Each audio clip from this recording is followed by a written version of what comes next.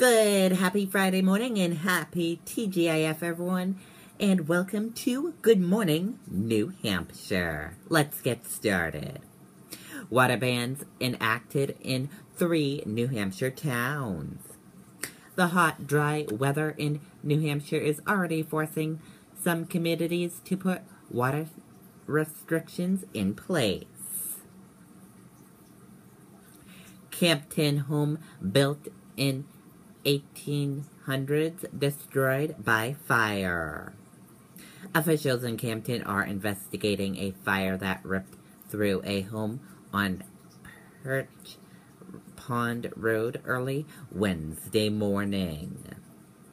Suspected purse snatcher at Claremont Supermarket arrested.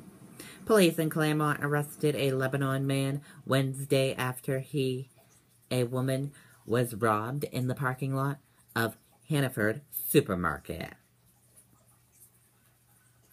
Republican pro clean energy issue group praises Ayotte as bipartisan leader in new TV ad. A pro Republican issue advocacy group focusing on clean energy and the environment is weighing into the U.S. Senate race with television ad promoting Senator Kelly Ayotte as bipartisan leader.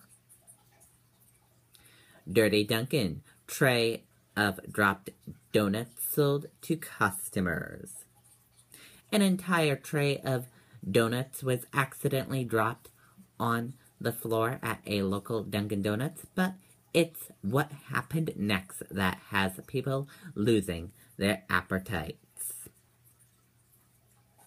Officials warn residents after several bear sightings in Manchester. Officials in Manchester are warning residents to be on the lookout for bears after one was spotted roaming the city.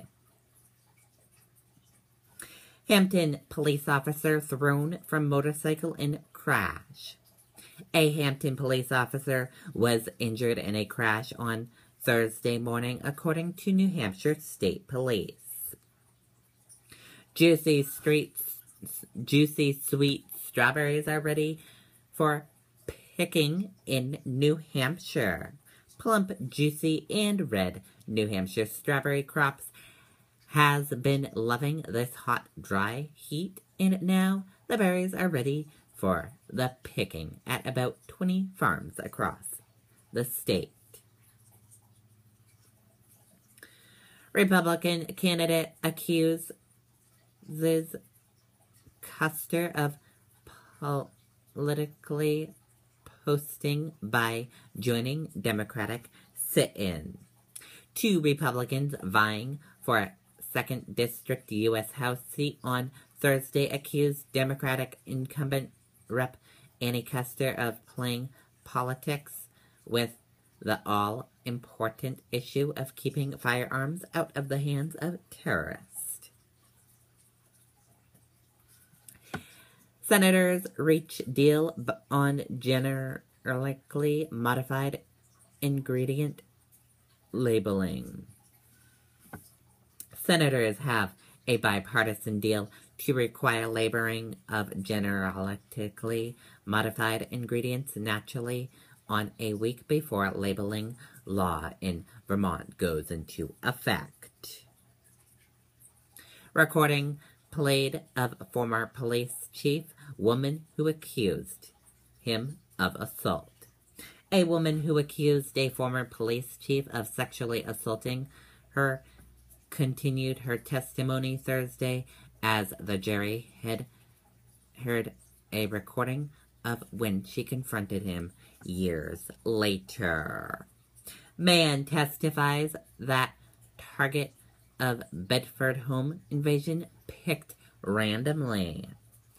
An alleged accomplice of a man accused of attacking a Bedford couple in their home in 2012 testified Thursday about the event of that night. Epping woman accused of seriously injuring 18-month-old. An Epping woman has been charged with inflicting life-altering injuries on an 18-month child child in her care. Firefighters hold special training year after fatal tent collapse. Firefighters from across the state trained Thursday on circus tent inspections and how to deal with collapses, nearly a year after a father and daughter died in a tent collapse. Sanders says he will vote for Clinton. Bernie Sanders on Friday said he will cast his vote for Hillary Clinton in November.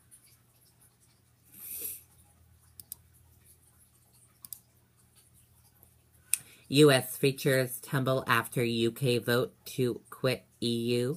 David Cameron plans to resign.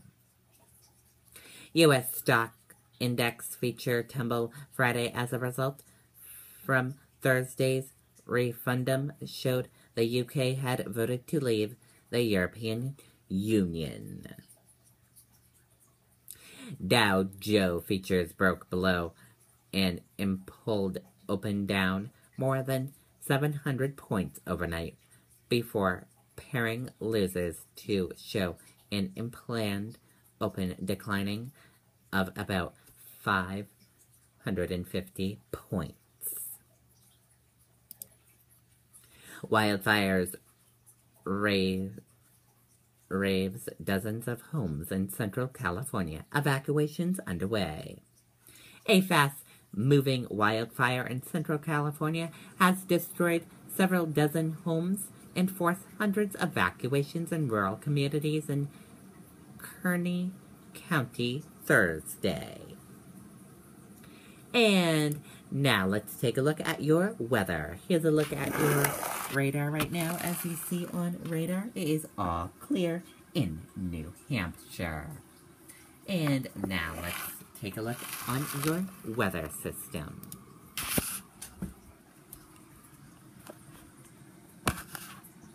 And on your weather system, your wind speed peak is 4 miles per hour.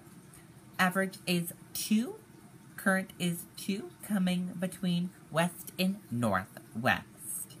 Your temperature is 70 degrees. Your forecast is partly cloudy. Your pressure is 30.03. And now let's take a look at your next seven day forecast.